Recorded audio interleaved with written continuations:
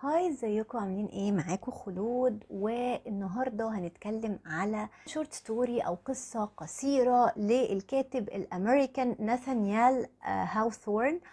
أم، طبعا. الفيديو ده هيكون ملخص okay؟ حتى لو كان قصير شوية مش مشكلة. هيكون ملخص والفيديو الجاي على طول إن شاء الله هيكون تحليل وشرح القصة بتاعتنا. آه بس قبل قبل ما أبدأ ما تنسوش تعملوا like للفيديو عشان أنتوا يا جماعة بتنسوا. يعني يعني في ناس بتكتب تعليقات كتير إيجابية بس بتنسى تعمل like. فال like بيفرق مع الفيديو مع القناة. okay؟ و آه ولو وطبعا عايزة تعليقاتكم تحت وانتوا عارفين أنا برد عليكم وبشوف كل التعليقات. ولو أول مرة تشوفوني عجبكم محتوى القناة آه، هتلاقوا تحت زرار مكتوب عليه subscribe أو اشتراك هندوس عليه جنبه جرس زي بقول أو تفعيل الكل عشان يوصلكم إشعار كل ما أنزل فيديو جديد. ويا ريت تعملوا share للفيديو وللقناة كلها علشان يا جماعة ال... في ناس كتير بتدور على الحاجات دي وما فعلا لاقيها لأن القناة لسه صغيرة فاليوتيوب مش بيقترحها على الناس قوي بس في ناس بتدور على الحاجات دي. فهتبقوا بتفيدوا غيركم وبتفيدوا القناة كمان وبتشجعوني إن أنا أكمل بسرعة أسرع. okay؟ وتابعوني على الإنستجرام أهو. علشان بيبقى هناك التواصل أسهل وأسرع بالنسبة لي. وبس كده تعالوا نبدأ في ال short story بتاعتنا على طول الحدوتة بتاعتنا هنجيب بقى حاجة نشربها ونقعد إيه نشوف حدوتتنا بتتكلم عن إيه. طبعا The Ambitious Guest يعني الزائر الطموح. okay؟ طيب تعالوا نشوف بتتكلم عن إيه. okay آه ال short story بتاعتنا النهارده أو القصة القصيرة بتاعتنا آه زي ما قلنا اسمها The Ambitious آه Guest أو الزائر الطموح. okay؟ طيب آه طبعا الكاتب بتاعنا كاتب أمريكان يا جماعة هو كاتب أمريكي وقبل ما أقول الملخص عايزة أقول لكم إن كان فعلا في في سنة تقريبا 1826 حصل في أمريكا انهيار ثلجي okay؟ وماتت عيلة اسمها عيلة ويلي. okay؟ آه Willey family القصة بتاعتنا ما كانش فيه يعني الشخصيات اللي فيها ما كان لهمش اسم. الكاتب بتاعنا ما سماش أي حد فيها ولكن القارئ فهم إنه هو بي بيتكلم على Willey family أو تعتبر زي متاخدة من قصة واقعية وهي قصة الناس دي. okay؟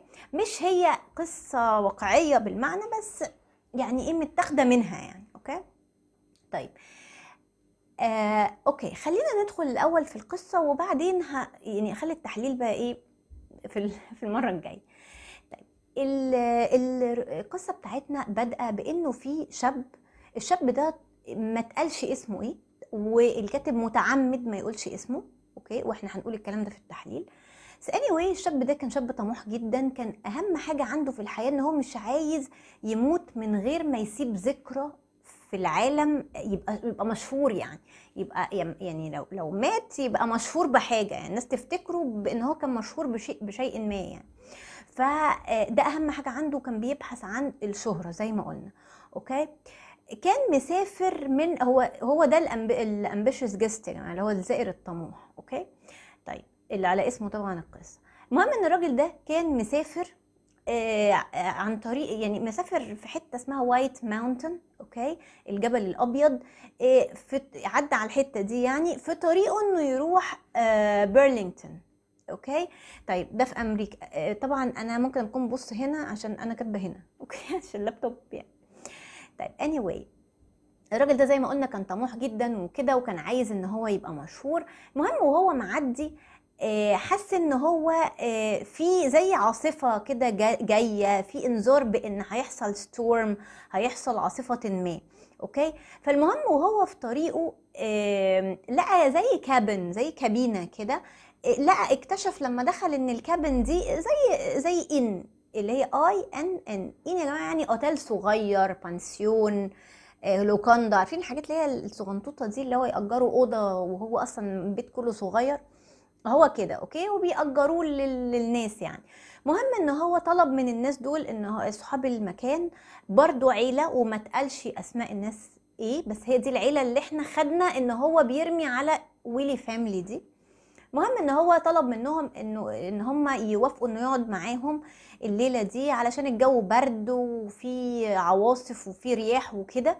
وفي نفس الوقت هو حس إنه مش حق يعني هيتعطل في الطريق وكده فمش هيلحق يوصل للمكان اللي هو رايحه آه، في الوقت المناسب يعني قبل العاصفة. فقال إيه قال هقعد مع يعني أقعد عندهم لحد ما الدنيا تهدى يعني ويستريح وكده إنه كان طبعا إيه زي ما قلنا تعب. قعد فعلا وقال لهم أنا هعمل زي هعمل الكامب عندكم وكده في البيت. المهم قعد فعلا وبالليل قعدوا يعني أو مش بالليل المهم إن هم اتجمعوا هو والأسرة دي حوالين ال fireplace الدفاية وقعدوا يتكلموا لأن هم وافقوا إن هو يقعد معاهم. طيب الحوار بقى أو القصة كلها في الحوار اللي هيدور ما بينهم في ال... ما بين الراجل ده اللي هو ال ambitious guest أو الزائر الطموح والعيلة دي. والنهاية بقى نشوف هيحصل إيه. المهم إن هم قعدوا مع بعض يتكلموا هو قعد آه اكتشف إنه العيلة دي سعيدة جدا آه اولا إن هي تقعدوا عندها لأن هم ناس بيرحبوا بأي حد وناس friendly وكده. ويعني ودافيين مشاعرهم دافية وناس كويسين يعني.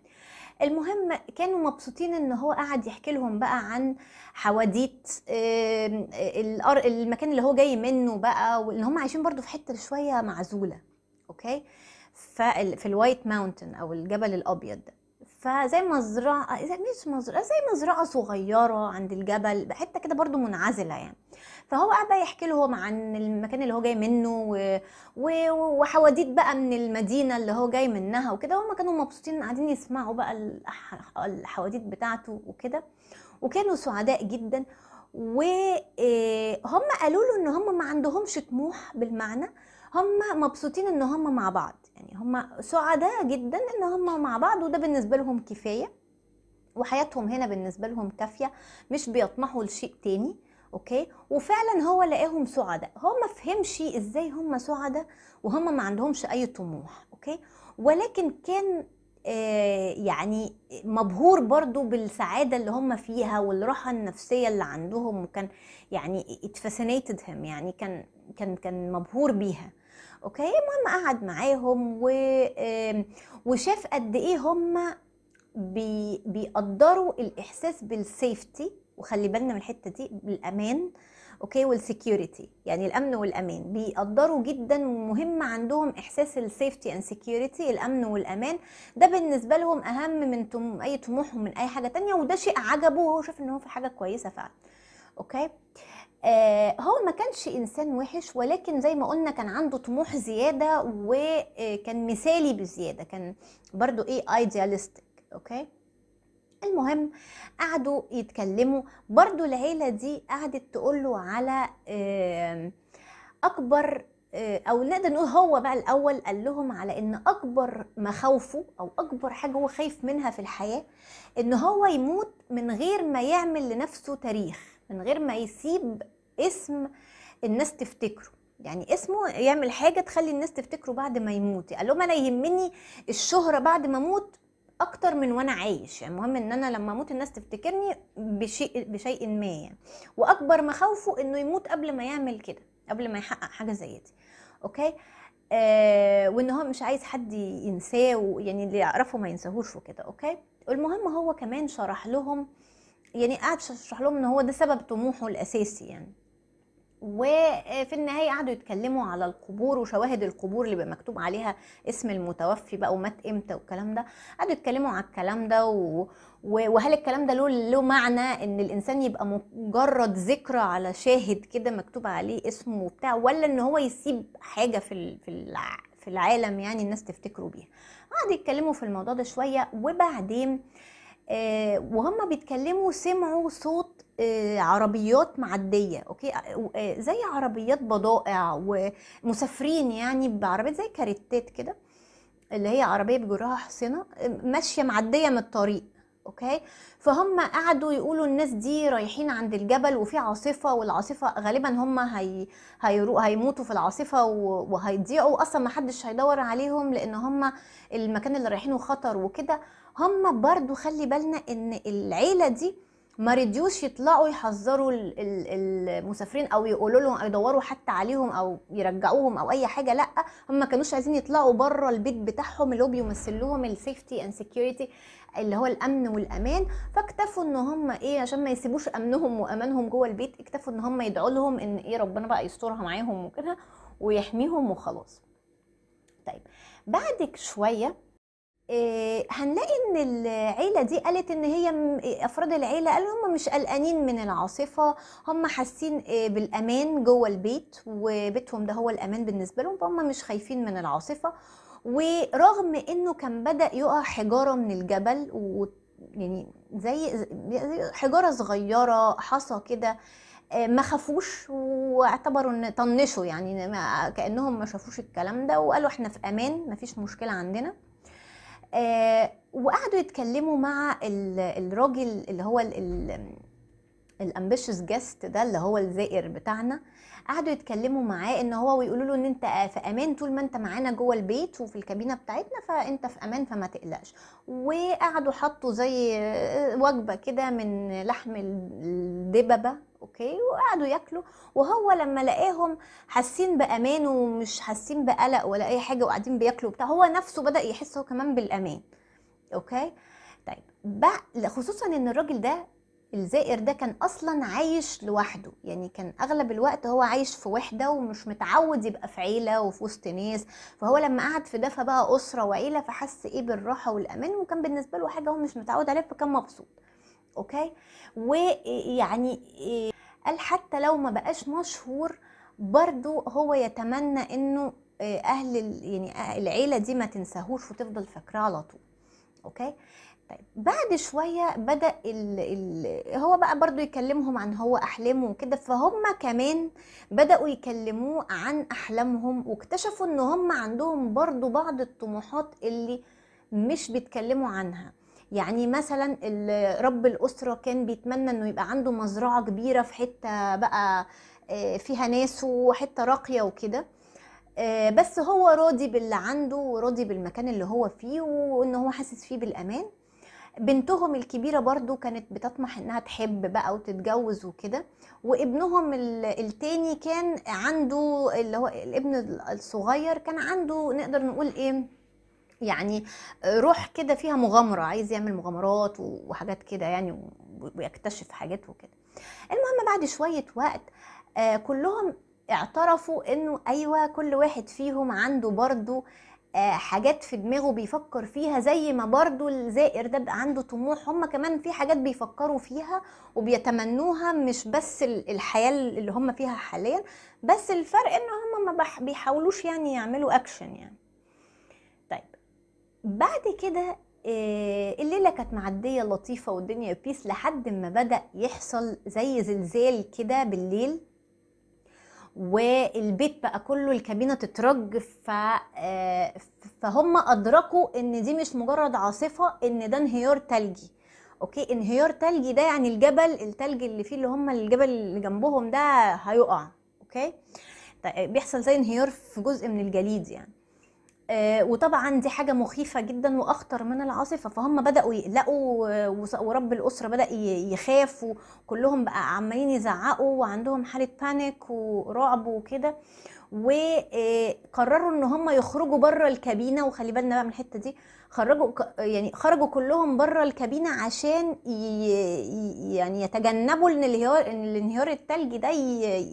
يعني يهد الكابينة على دماغهم يعني أوكي؟ فهم قالوا نخرج بره الكابينة نشوف لنا حتة نتدارى فيها. والمهم إن هم قالوا إحنا من الأول كنا مخططين إن لو فرض في يوم من الأيام وحصل انهيار تلجي فإحنا نقينا مكان نروح نقف فيه المكان ده هيحمينا مش- هيجي عليه الانهيار التلجي. هم كانوا already مخططين لكده من الأول.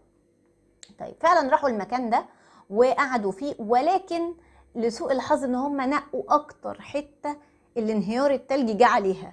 فاللي حصل إن هم التلج نزل عليهم دفنهم هم والزائر معاهم لأن هو كان معاهم already ال ambitious guest فاتدفنوا هم والزائر في الجليد ومحدش سمع عنهم ولا عرف عنهم حاجة. ولكن بقى لسخريه القدر إن الكابن بتاعتهم أو البيت بتاعهم ما ما حصلوش حاجة وما حصلش والانهيار التلجي ما جاش عليه ولا أي حاجة وبقى مجرد بيت مهجور. يعني لو كانوا فضلوا جوه البيت كانوا نجيوا وما كانش حصل لهم حاجة لأن البيت ما حصلوش حاجة.